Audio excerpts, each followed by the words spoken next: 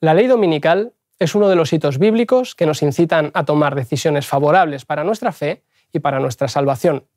¿Pero es posible en el mundo moderno que surja algo semejante? ¿Cuáles son sus implicaciones históricas y espirituales? Te invito a unirte a nosotros para descubrirlo.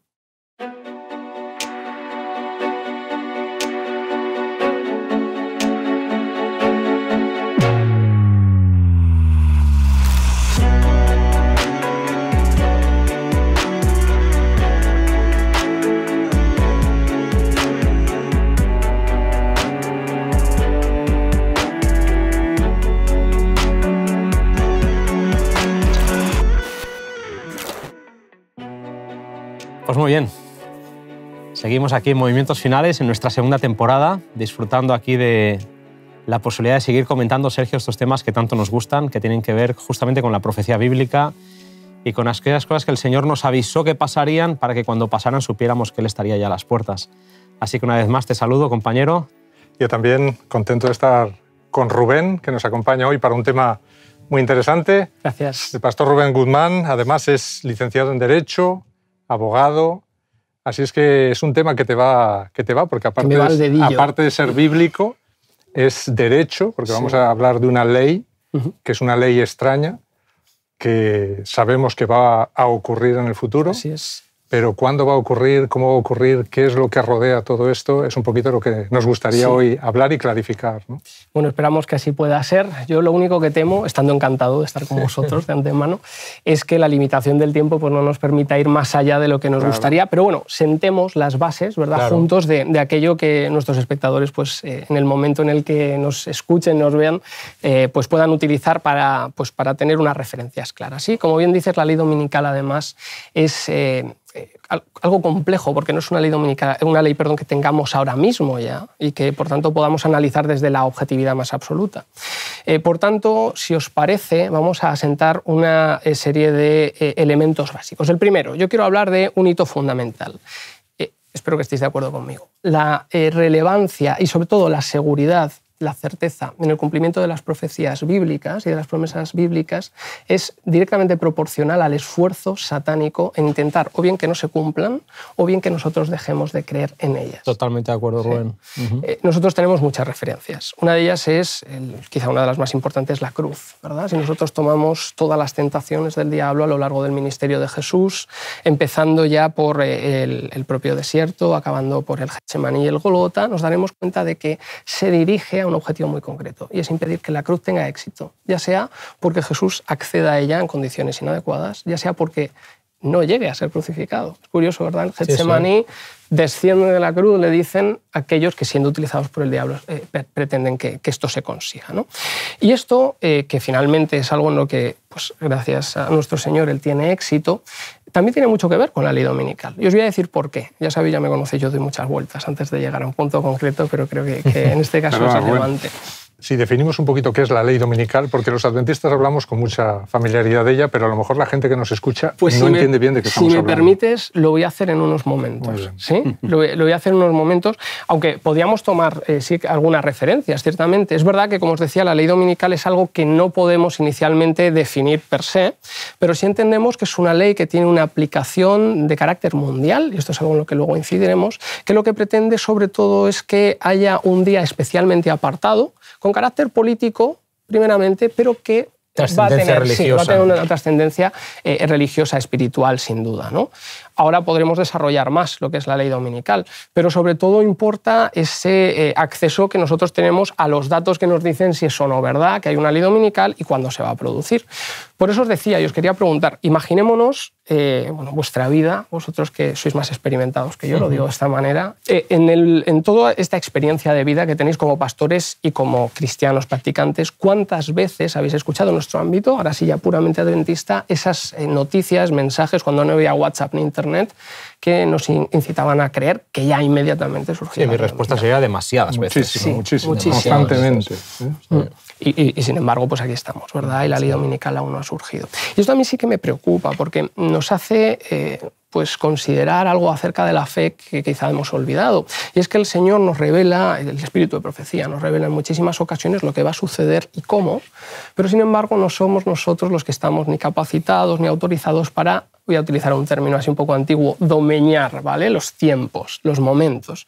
No es nuestra competencia. Si tú compartes algo así, yo te incitaría a no hacerlo. No estás ayudando al Señor, no estás ayudando a la Iglesia y no te estás ayudando a ti mismo en absoluto, ¿sí?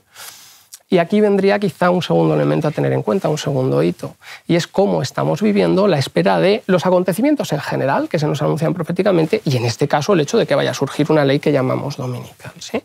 Eh, porque podemos hacerlo desde una expectativa saludable, es decir, desde la alerta. La alerta proviene de la fe, la alerta implica un estar atento a las cosas a las que hay que estar atento. La confianza en lo que se nos ha dicho se va a cumplir. Esto se va a cumplir, ¿de acuerdo? o podemos hacerlo desde la alarma, el alarmismo. Es terrible lo que nos va a suceder, ¿no? Estamos todos perdidos, la alarma proviene del miedo.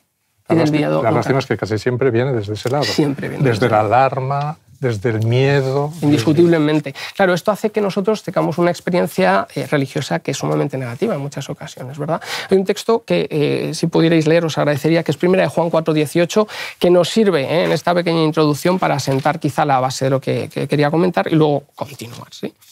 Sí, no sé si lo tienes, pero dice, en el amor no hay temor, sino que el perfecto amor echa fuera al temor, porque el temor comporta castigo y el que teme no ha sido perfeccionado en el amor.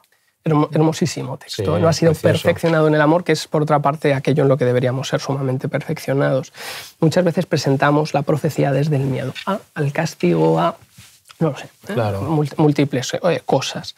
Y hoy la Iglesia vive un periodo de probablemente desgaste por este tipo de cosas. hay muchos factores, ¿no? Pero en gran medida el hecho de que si se me anuncia algo constantemente que va a suceder pero no sucede, dejamos de creer que esto llega a ser Es la historia de, Pedro y el lobo, ¿no? Esta historia de tantas veces dijo Pedro que viene el lobo que cuando vino nadie se lo creyó. ¿no? Y recuerdo cuando en la primera temporada, Sergio, tuvimos como invitado a Carlos Catalán y hablábamos de la teología del miedo, este miedo constante, esta este constante estado de, no, no de alerta, sino de alarma, ¿no? en el que cualquier cosa que pasa eh, sirve como excusa para empezar a mandarnos mensajes, eh, para de alguna forma decretar que ya el Señor está a las puertas.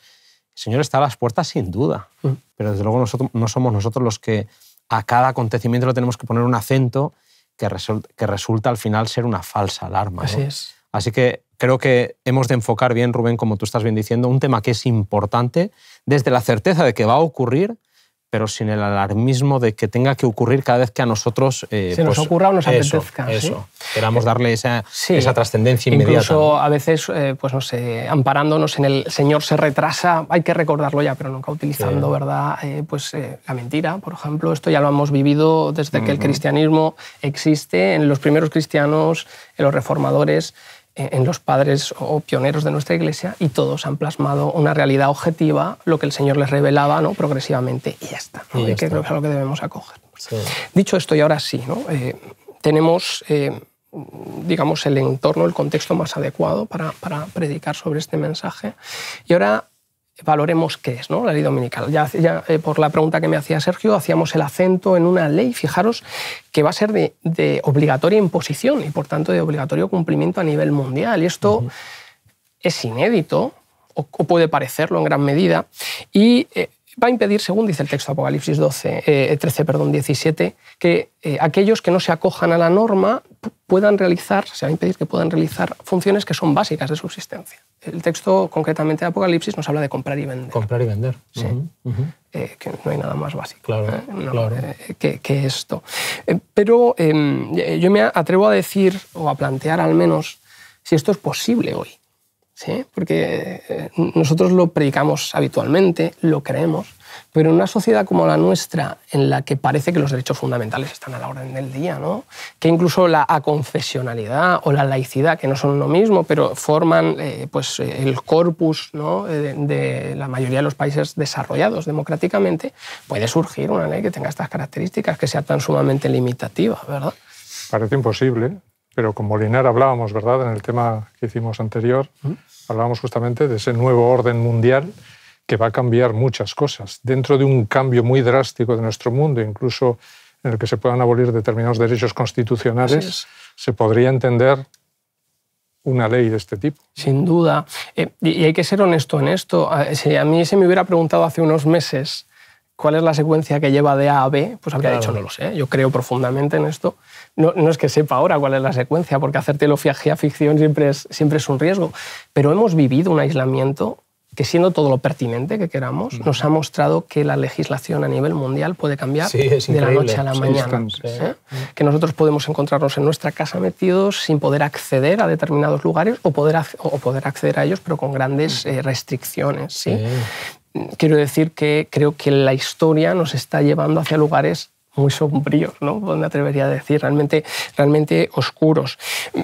Por lo menos escenarios que para esta generación eh, son sin precedentes. ¿no? y, lo acabas de decir, y mencionemos el COVID y el confinamiento y el estado de alarma e incluso el papel higiénico en los supermercados, ¿no? que de repente desapareció con una voracidad porque el mundo parece como que se, acababa. Sí, además la aplicación mundial, que es muy llamativa, ¿no? el mundo entero envuelto en el mismo tema. Es interesante. Y a, mí me llama mucho la atención también el que pueda salir en todos los telediarios a la vez el mismo tema. El mismo tema. Y todo el mundo completamente preocupado por esto. O sea, que estamos viviendo... podríamos hablar de los medios de comunicación, que quizás no es el tema, pero podríamos hablar, y es interesante también decir lo fácil que es crear una, una conciencia común, en base al, bien común o, o, a la, seguridad. sí, lo que es solidario o insolidario, ¿verdad? El que se considera culpable o no. Es interesantísimo. Señalando, es muy interesante, por desgracia. y finalmente esta ley buscará el bien común. Claro. De alguna manera, ese será la excusa. Claro. No sabremos por dónde o exactamente por qué razón, pero vemos que el que hoy no se pone una mascarilla, y no digo que no sea así,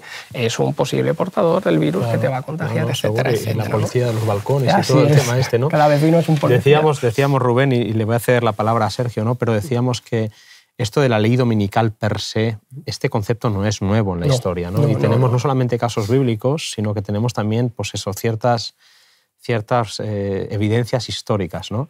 Empecemos por los casos bíblicos. Sí, lo más llamativo es el caso de, Esther, ¿no? por ejemplo, con Asuero, ¿verdad? Esa, esa, ley de exterminio de todo el pueblo judío que finalmente terminó para bien y no, no, hubo, no hubo tal exterminio. ¿no? Tenemos también los casos de, Daniel en la Biblia, ¿no? con leyes en las que durante X tiempo se prohibía adorar a nadie más que al rey. ¿eh? Y a quien hubiese hecho la ley fuera de todo otro Dios, es decir, se acaban todas las libertades religiosas, se acaba todo y solo tienes que hacer esto. Esto es. Así es que todo esto son preámbulos de la historia que nos hablan de escenarios bíblicos ¿no? que de alguna forma nos enseñan, nos proyectan a lo que puede llegar a ocurrir. Pero más allá de la Biblia, Rubén, también tenemos eh, casos, episodios ¿no? que sí, podríamos que hay episodios históricos. Y con todo, si me permitís, es interesante lo, lo, que eh, estabas comentando porque existen diversos tipos de legislaciones que afectan a diversos tipos de colectivos. Hay un colectivo social, eh, en este caso religioso-cultural, el de Esther, que es afectado me retrotraigo a la Alemania nazi y creo que no estoy haciendo tampoco una comparación demasiado excesiva, y también una particular práctica religiosa, como es en el caso de, Daniel, ¿no? de sus amigos. Simplemente el hecho de no agacharte delante de una estatua, que es al final de lo que va todo esto. No es que tú creas o no creas, es cómo practicas también tu fe ¿no? y lo que se considera legítimo. ¿no? Pero como bien decías, eh, existen eh, eh, pues precedentes históricos que, son esenciales, porque no todo el mundo cree en la Biblia y nos dirán, barra para casa, ¿no? Exacto. y a lo mejor tienen razón. Así que vamos a ver qué es lo, que nos dice la historia. Yo ahora aquí sí yo me voy a ceñir hacia uno de los puntos de fricción más importantes, que es la diferencia entre el sábado y el domingo, porque en algún momento tenemos que decirlo, si se llama ley dominical es precisamente porque lo que aborda es la necesidad imperiosa de proteger o de guardar un día para reunirte con el Señor, que no es el sábado bíblico, sino que es otro, esencialmente, en este caso es el domingo. ¿sí? ¿Qué precedentes encontramos? Bueno, partimos, no sé, no descubro nada nuevo, del 313, Constantino, ¿verdad? Una unión de Estado con eh, la religión de la época, la religión cristiana, a partir de la cual ya se va a comenzar a guardar de manera oficial el domingo, lo cual le viene muy bien al propio emperador, que fue siempre un adorador del Sol Invictus, y le viene muy bien a toda la sociedad. De hecho, fijaros, en, eh, hay papas eh, como Melquiades, Silvestre, me los apunto porque estos nombres son un poquito difíciles de, recordar. Melquiades o Silvestre son eh, papas que van a propiciar el que se guarde el domingo después de Constantino y León I, papa terribilis, ¿no? sobre todo en cuanto a lo que es la imposición del concepto de pontificado que hoy tenemos, nos, le da la razón a Constantino y afirma que esto es lo que se tiene que hacer. Por eso en el siglo IV hay un reconocimiento a nivel estatal de este ritmo semanal. Y todo el mundo se congratula, por fin todos adoramos el mismo día, por fin los cristianos y los que no son cristianos nos reunimos al mismo tiempo. ¿sí? Y esto es algo que lejos de lo que podamos pensar, como me parece que por otra parte es evidente, se sigue defendiendo desde eh, pues, eh, el catolicismo pues, en, modernos documentos. Por ejemplo, Juan Pablo II escribía el, el Dies Domini, un documento bastante importante, relevante, y Benedicto XVI en un imprimatur relevante también en cuanto a lo que sería el, el, catecismo católico, sigue reafirmando este concepto. ¿sí? Como dato está bien, pero hay que ir un poquito más allá porque podríamos decir, bien, esto tiene que ver con el catolicismo y también con todos aquellos estados sometidos al catolicismo cuando tenía poder terrenal o poder temporal. Pero ¿qué ocurre al final fuera de, este poder político religioso. ¿no? Bien, pues entonces abordemos otros estados. Estados, por ejemplo, como los Estados Unidos de América, que son tradicionalmente protestantes, que tienen en su ADN el protestantismo. Pues bien, es curioso descubrir que a lo largo del siglo XVII ya se van a dictar varias leyes que tienen que, eh, como objetivo imponer también el descanso dominical, en este caso. Eh, la más relevante, porque fue la primera, se dicta en 1610 en, el estado de Virginia. Eh, por este decreto, fijaos, si uno no acudía, todo hombre y toda mujer, a, la iglesia el domingo, se podía sancionar muy gravemente al infractor. Eh, en primer lugar, podías perder por una infracción pues, todos tus recursos semanales, por la segunda, podías ser azotado y la tercera podía conllevar la muerte. Mira. Sí. A posteriori, otros estados se hacen eco de, esta norma, de esta normativa, en 1650 vamos a encontrar Massachusetts, eh, 1600, perdón, 50, en 1656 Connecticut, Maryland un poquito más tarde, en 1696. Esto es significativo, pero lo es más cuando descubrimos que en el año 1888 en Estados Unidos hay una propuesta de ley a nivel nacional, la llamada propuesta de ley Blair, eh, que lo que pretende es eh, precisamente establecer una ley dominical a nivel de todos los estados. ¿sí? Solamente se va a echar atrás eh, esta propuesta por precisamente la presión de los judíos, los adventistas del séptimo día y los bautistas del séptimo día que ven una ofensa, un agravio evidente al día que ellos están protegiendo y guardando desde el inicio ¿no? espiritualmente. Pero aún así esto no va a ser óbice para que de los 48 estados que entonces tenían los Estados Unidos, entre el año 1880 y 1890, 17 de ellos eh, impongan una normativa en este sentido y 76, está datado, 76 adventistas fueron perseguidos y se les impusieron eh, pues, eh, diversas penas de diversa categoría. ¿sí? Es interesante. ¿eh? O sea, que sí que hay antecedentes no solamente del primer siglo, de los siglos primeros donde, o, de la Edad Media en Europa, etcétera, sino que estamos hablando de, Estados Unidos no hace tanto, a la vuelta de la esquina histórica. ¿no? Y en este sentido, en el, en el, gran libro El conflicto de los siglos, que ya hemos mencionado en alguna ocasión, Elena White escribe, ella, ella, dice, ella dice en la página 635, se ha demostrado que los Estados Unidos de América son representados por la bestia de dos cuernos semejantes a los de un cordero. Cosa que efectivamente, Sergio, hemos tenido el placer ya de hablar con el pastor Javier Moliner. Dice, y que esta profecía se cumplirá cuando los Estados Unidos de América hagan obligatoria la observancia del domingo que Roma declara ser el, digno, el signo característico de su supremacía interesantísimo. Por eso, por eso son movimientos finales, porque esto, tiene, esto tiene una proyección. Ha pasado en la historia y que que haya pasado, eh, de alguna forma nos ilustra que puede llegar a pasar otra vez. Y, y, Elena White dice, es que va a pasar. Va a pasar. ¿no? Además, eh, de lo que se deduce de este pasaje, eh, podemos llegar a dos conclusiones. En primer lugar, la aplicación de carácter global de una norma. Esto es, es una barbaridad pero ya encontramos precedentes también, ¿eh? porque estamos hablando sí de, determinada normativa aplicada en un contexto determinado, pero cada vez que nos abrimos un perfil en Facebook o en Instagram estamos dando nuestro ok, nuestro de acuerdo a una serie de cláusulas que se aplican a nivel internacional, que puede parecer un ejemplo naif, pero sin duda es una muestra de que los tiempos han cambiado y que esta puerta está abierta desde hace mucho tiempo. Desde luego.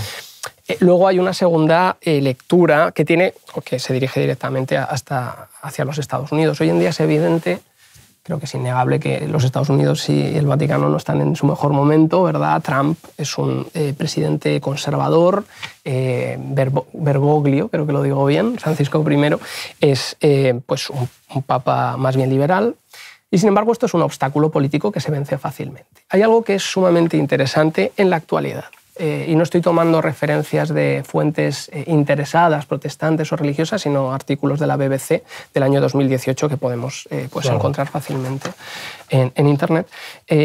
fijaos que en la actualidad la quinta parte de la población estadounidense es católica de toda la población que puede votar, una cuarta parte de esa población es católica. Por lo cual encontramos que en los últimos tiempos los distintos eh, futuros o posibles gobernantes, los potenciales gobernantes que se presentan a las elecciones, buscan y litigan por el voto católico, que ha sido determinante en los últimos cuatro presidentes que ha habido, dos de ellos republicanos, dos de ellos demócratas, con lo cual pues, se nos dice que el voto católico no tiene un color específico y esto puede salir por cualquier lado. Claro, ¿sí? claro. claro, el cargo público que es elegido a partir de aquí, de esta premisa, está marcado no solo por una tendencia política, sino por lo que subyace debajo, por la vinculación a su religión. Mirad, eh, lo tengo apuntado para que no se me olvide. Cuatro de los nueve jueces de la Corte Suprema de Justicia de, de Estados Unidos son católicos. Y además el magistrado principal también lo es. Eh, encontramos que un 24% de los miembros del Senado son católicos y el 31% de, en este caso, los miembros del Congreso en la actualidad lo son, lo cual es significativo porque hace 30, 40 años era un 19%, eran muchos menos. Y esto que a nosotros nos puede parecer indiferente en un país como Estados Unidos, en el que la religión profesada por los cargos públicos es fundamental, nos dice ¿verdad? Que, en este ámbito se hacen extraños compañeros de cama, ¿verdad? Y que hay ciertas inercias que se vienen intensificando con el paso del tiempo. Lo que pasa es que en este caso, por los dos lados, tanto por el lado católico como por el lado protestante, tienen el mismo día. Claro, claro, claro. Eh, sea por, los, por el lado católico o influenciado por el lado católico, influenciado por el lado protestante, ya en América protestante, como tú has dicho antes, se implantaron estas leyes en determinados estados. ¿no? Es, es, interesante la cita del conflicto de los siglos de Elena de White, en la página 645, que ella dice, merced, merced a los dos errores capitales, el de la inmortalidad del alma y el de la santidad del domingo, Satanás prenderá a los hombres en sus redes. Así es que esto también lo comparten las dos grandes sí. Eh, facciones del cristianismo. Es, curioso, fijaos, hace algunos años me comentaba un asistente a una de las iglesias que, que, yo pastoreaba en ese momento, no era adventista, tampoco era católico, era una persona interesada, y él hacía hincapié en qué necesidad tenéis de hablar tanto del sábado, qué necesidad tenéis de hablar tanto de este conflicto que viene por aquí cuando esto está ya superado, nos decía. ¿no? Y era muy vehemente, pero no tenía razón tomad las referencias de conflictos religiosos, de puntos de fricción a lo largo de la historia y nos daremos cuenta que el sábado nunca lo ha sido. Los primeros cristianos tenían un gran problema y es que no adoraban al emperador y les, mataban.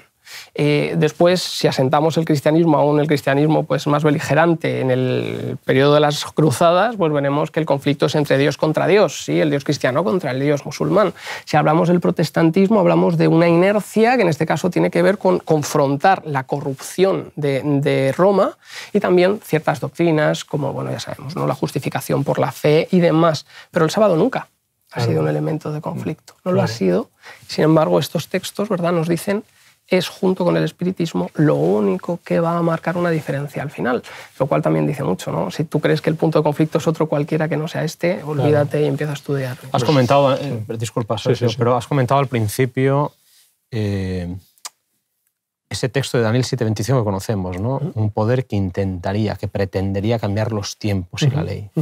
Y de lo que hablamos es algo mucho más grave o mucho más, eh, ¿cómo diríamos? Mucho más amplio eh, de lo que quizás hemos estado acostumbrados en nuestra historia, porque al final lo que de lo que se trata es de la autoridad. La autoridad. Eh, ¿Quién es el, que marca las leyes? ¿Quién es el que dicta? Eh, ¿A quién debemos obediencia? ¿A quién hemos de someter nuestras propias conciencias? si la ley de Dios no cambia porque Dios no cambia y la ley es un reflejo de su carácter, ¿cómo puede el hombre pretender haber cambiado ciertos aspectos de esa ley? Específicamente eh, en lo referente al sábado. Porque no tenemos ningún conflicto con los demás mandamientos. La Iglesia Católica sí, porque también ha anulado el mandamiento del no, te harás imágenes. Pero el mundo evangélico, el mundo protestante, que reconoce el texto de Santiago, no, no, si te haces culpable de un solo punto, ofendes a toda la ley, transgredes toda la ley. Pero no tenemos un problema con el no matarás, con el no cometerás adulterio, no tenemos un problema con el no codiciarás. Eh, pero resulta que este, este, el que tenía que ver con el sábado, eh, no, esto es para los judíos. Por lo tanto, si el sábado es una señal de autoridad, y ahora, hablaremos un poquito de, los diferentes aspectos, ¿no? Las, las, diferentes perspectivas desde las que podemos hablar de la ley dominical. Pero desde el punto de vista bíblico, el sábado cumple una función que no es solamente o meramente una costumbre religiosa. No es solamente el capricho de decir, ¿qué día vas a la iglesia? Pues yo el viernes, yo el jueves y tú el sábado. No, no, no tiene que ver con eso. No lo hemos elegido nosotros el día. El día tiene un significativo mucho más allá de nosotros mismos. Así que hablemos de esa perspectiva triple de la ley dominical. ¿Cómo se puede interpretar? ¿Cómo se puede ver? Pues eh, justamente hay una triple perspectiva. Una es puramente jurídica, tanto cuanto es una norma. Otra es teológica, porque afecta al sábado, como bien estabas diciendo. Y otra es escatológica. Muy bien. Muy bien. Indiscutiblemente tiene que ver con una marca, tiene que ver con los tiempos del fin. Ahora lo veremos. Si nos eh, ceñimos estrictamente a lo que es jurídico, como en toda norma, es un poco lo que tú estabas diciendo. Tenemos que evaluar acerca de lo que legislamos los seres humanos, porque los seres humanos legislamos sobre cosas, asuntos en los que tenemos capacidad, legitimidad, competencia. Claro. ¿sí? Imaginaos que yo os dijera, pues a partir de hoy, porque lo decido aquí en esta sala por Media y por Persia, eh, todos los franceses cuando salgan a su casa, además de la mascarilla, tienen que llevar boina, porque son franceses. ¿no? entonces vosotros me diríais, hombre, algunas objeciones te podemos hacer, Rubén, porque ni eres francés, ni vives en Francia, ni eres el presidente del gobierno francés, que no sé si me gustaría o no, pero no lo soy. Y por otra parte no conoces la legislación francesa. Eso para empezar. Esto para empezar, que te muchísimas cosas. Es decir, que me encuentro fuera de mi contexto totalmente. Cuando nosotros eh, legislamos o legislaremos sobre la, eh, en relación al sábado con la ley dominical, lo que estamos diciendo es que el Señor no tiene competencia para decidir sobre aquello que marca, como bien decía, su carácter. ¿Tengo yo capacidad para cambiar el carácter de Dios? ¿Desde cuándo no? ha podido ser esto así? Eh, está muy cercano, y ya entro en el ámbito teológico, y aún hablando de una legitimidad puramente jurídica, está muy cercano a Babel, el conflicto. ¿sí? Es decir, eh, yo me opongo al Señor, desconfío de lo que me dice y además me atribuyo la, capacidad de hacer las cosas a mi manera y no como Dios dispone. Y una cosa que además hace tiempo hablaba, contigo, no sé si ni siquiera si te acordarás, que me llamó mucho la atención. Eh, tú me, decías que, y esto creo que estoy totalmente convencido de ello, totalmente de acuerdo contigo, que cuando eh, el ser humano hace algo a determinados niveles, pero en general, sobre todo a determinados niveles, lo que quiere es ser como Dios. ¿sí? Y al final, cuando tú dispones a través de una ley que vas a guardar un día u otro, lo que quieres es, ser exactamente como Dios. Este es el gran pecado ¿no? que, los seres humanos venimos cometiendo eh, a lo largo de, la historia desde la caída. ¿Es la única perspectiva? No, hay una perspectiva teológica. La perspectiva teológica es fundamental. Y hablamos del sábado ¿eh? contra el domingo. ¿sí? Porque el domingo sea un día malo en sí mismo, sino porque es el día que no se tiene que cumplir, ¿no? que no se tiene que guardar en relación al mandamiento. Y si acudimos a las dos enumeraciones que encontramos en el texto bíblico de los diez mandamientos, en Éxodo 20 y en Deuteronomio 5, hay una significativa diferencia, lo cual es curioso porque no hay muchas, en relación al sábado, que nos da dos motivos por los cuales deberíamos proteger pues, este pues leamos. y, de hecho, y de hecho, Rubén, antes de leerlo, solamente decir que el paralelo es precioso cuando vas a Apocalipsis 4 y 5. Las razones por las que hemos de adorar al Cordero son las mismas que vamos a leer en Apocalipsis, o sea, en, Éxodo 20 y en Deuteronomio 5. O sea que durante la eternidad a Jesús lo adoraremos por estas dos mismas razones, porque es creador y porque es el que nos libera. Y esto es lo que dice el texto. Eh, yo leo Éxodo y Sergio, si te parece, el estudio de Deuteronomio, pero en Éxodo dice, porque en seis días hizo Jehová los cielos y la tierra, el mar y todas las cosas que en ellos hay, y reposó en el séptimo día, por tanto Jehová bendijo el día del sábado y lo santificó. Ahí está como creador. Como creador. Sin embargo, ahora en Deuteronomio 5.15 está señalando a Dios como redentor. Acuérdate que fuiste siervo en tierra de Egipto y que Jehová tu Dios te sacó de allá con mano fuerte y brazo extendido, por lo cual Jehová tu Dios te ha mandado que guardes el día de reposo. Así es que dos aspectos fascinantes. Dios como creador. Entonces, ¿quién es el ser humano para, para casi cambiar al creador? Porque claro, el que cambia el día se pone en el, lugar del, creador, y no solo en el lugar del creador, también en el lugar del redentor. Así es. Me permites ¿no? que, haga, la lectura de los dos textos paralelos que os mm. decía. Eh, discúlpame, Rubén, pero Apocalipsis 4, estamos en el aspecto teológico. Fijaos qué bonito es esto, Apocalipsis 4. Señor, tú eres digno de recibir la gloria y el honor y el poder porque tú creaste todo misma razón por la que guardamos el sábado. Y por tu voluntad existen y fueron creadas. Cuando vas a Apocalipsis 5, dice, tú eres digno, tú eres digno de tomar el libro y de abrir los sellos, porque tú fuiste inmolado y con tu sangre nos compraste para Dios. Redención. Creación y redención. Las dos mismas razones eternas por las que guardamos el sábado son las mismas razones por las que adoraremos a Jesús. Esto es precioso esto. Es muy bonito y es doloroso, por tanto, que nosotros pretendamos hacer una expresión abierta en contra de todo lo que Dios ha hecho por nosotros. Exacto. Desde ser creados, ¿verdad? Hasta ser pues, salvos. Al cambiar el día, lo que estás haciendo es que las personas dejen de mirar esos dos aspectos. Es decir, ya no ven a Dios como creador, tampoco lo ven como redentor. La pregunta es cómo es que lo ven. cualquier cosa por el medio, claro, y todo puede valer. Así es. Es terrible. es terrible. Eh, bien, bueno, abundando un poquito más, ya acabando con estas perspectivas, sí que había una tercera, sí, que os comentaba anteriormente. Que, tiene mucho sentido en movimientos finales. claro, la escatológica, ¿no? Además no se entiende sin las anteriores, claro. La escatológica es aquella que, bueno, pues como nos decía Apocalipsis 13, 17, ¿verdad? Nos ayuda a entender que hay un sello, una marca en relación a aquellos que guardan uno u otro día, ¿no? Eh, la marca que no reciben precisamente los que, los que guardan el sábado o los que adoran en el sábado, es eh, un elemento sumamente negativo a lo largo de las escrituras. La marca es eh, lo que se le impone a un esclavo y la marca es algo que ya recibe Caín originalmente. ¿sí? Por tanto, nos ayuda a entender que eh, nos convertimos en esa descendencia de los hijos de Caín y somos marcados de una manera muy semejante. El sello es diferente, es significativamente diferente porque el sello es aquel que acompaña a la persona que decide seguir al Señor voluntariamente. Exactamente. Eh, eh, Apocalipsis 14, 4, ¿no? Eh, en este caso, pues nos hace una, nos da una referencia de la cual podemos deducir cómo adora, ¿no? Sí, la frase está tan preciosa, ¿no? Apocalipsis 14, 4 dice, estos son los que siguen al Cordero por donde quiera que va. Estos fueron rescatados de entre los hombres como primicias para Dios y para el Cordero. Muy bien. En ese siguen al Cordero por donde quiera que vaya algo hermoso, muy hermoso, y es la vocación de de seguir a mi pastor porque yo lo deseo. Claro, claro, eh, por tanto, eh, fijémonos, ¿no? Eh, y fijémonos además el sello que triple perspectiva a su vez también tiene. Os invito a, que leamos tres textos juntos. uno se encuentra en el libro de Esther, que ya habíamos mencionado, y los otros dos en, el libro de Ezequiel. y nos habla de tres conceptos que tienen que ver con el sello, y los tres son fundamentales. nos ayudan a entender muy bien en qué se enfoca o en qué falla, en este caso la ley dominical. Sí, sí en Esther 8.8 dice, Escribid, pues, vosotros a los judíos como bien os pareciere, en nombre del rey, y selladlo con el anillo del rey, porque un edicto que se escribe en nombre del rey y se sella con el anillo del rey no puede ser revocado.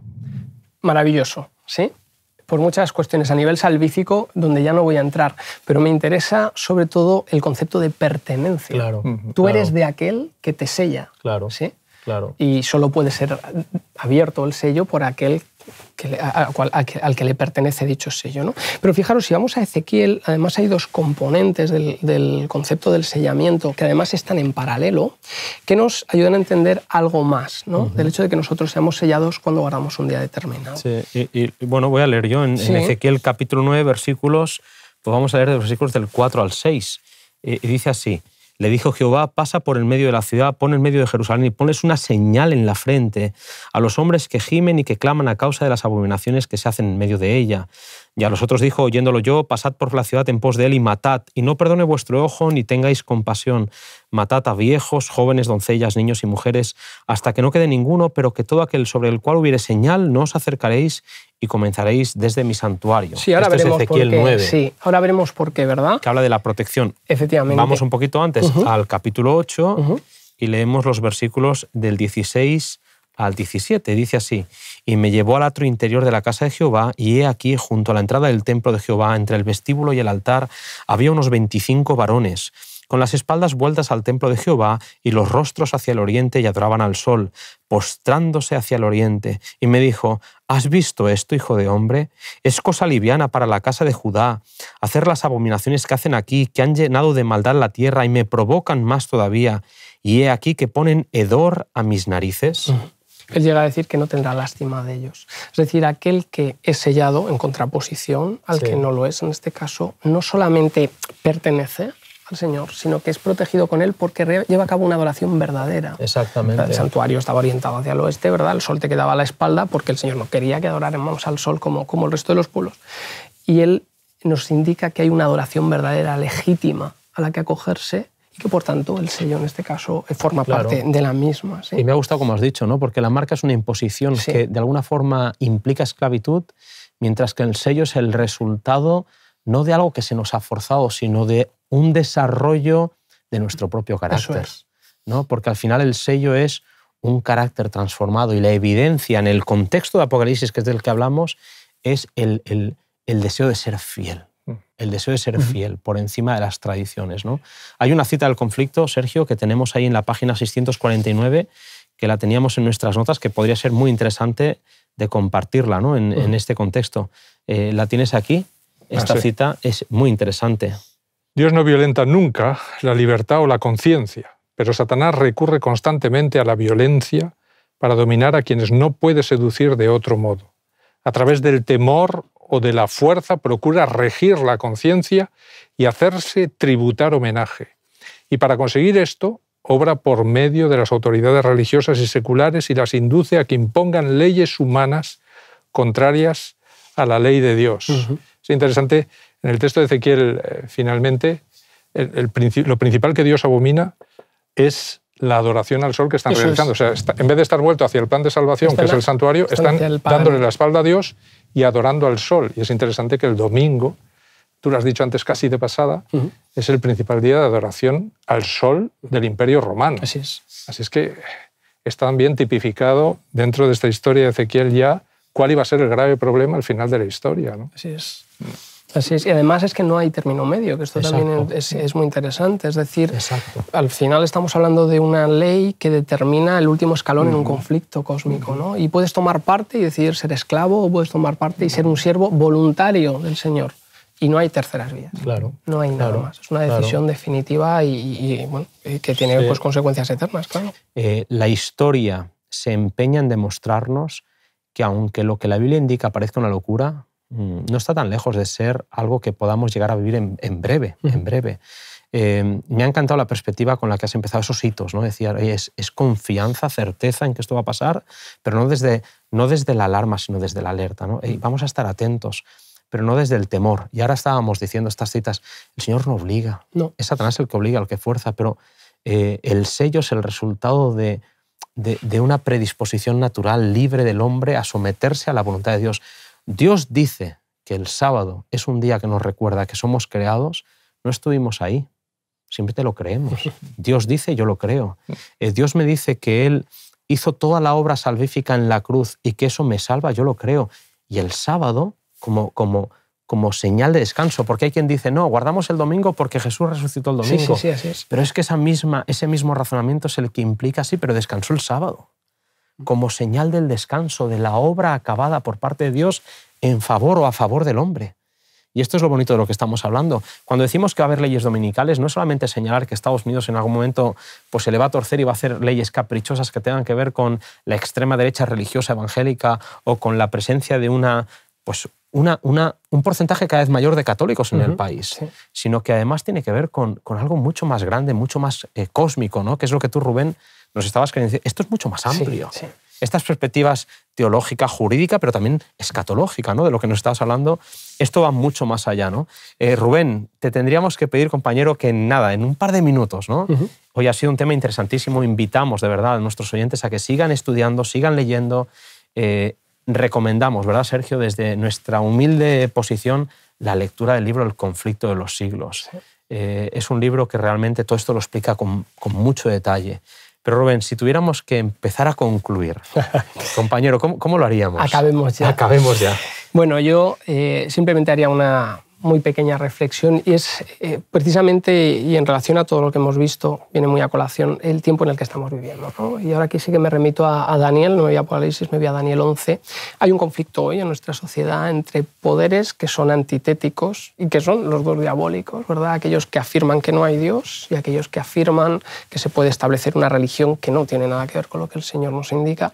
Y aunque parece que está más o menos la balanza inclinándose hacia un lado, lo que nos habla las Escrituras es que finalmente simplemente aquellos que, desean establecer una determinada ley que, como tú bien decías, va mucho más allá de lo que es puramente normativo, sino de un concepto de adoración que uno asume voluntariamente.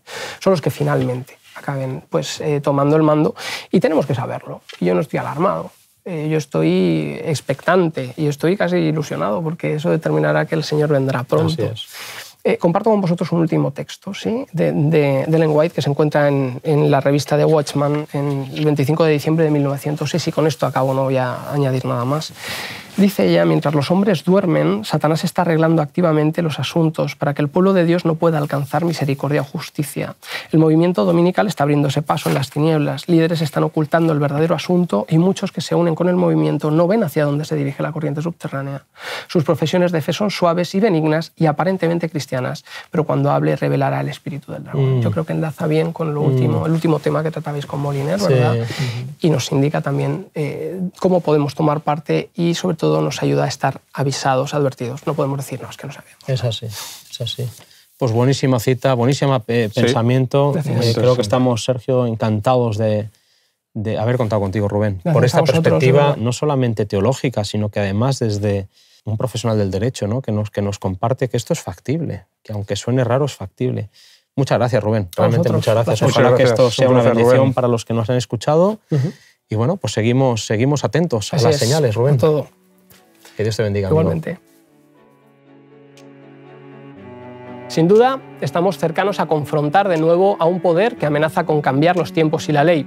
Y aunque tenemos la seguridad de que ello implicará una limitación a nuestra libertad religiosa, podemos aprovechar la oportunidad que este periodo de la historia aún nos permite disfrutar para predicar acerca de la verdad del Evangelio y de las mentiras que con el tiempo surgirán.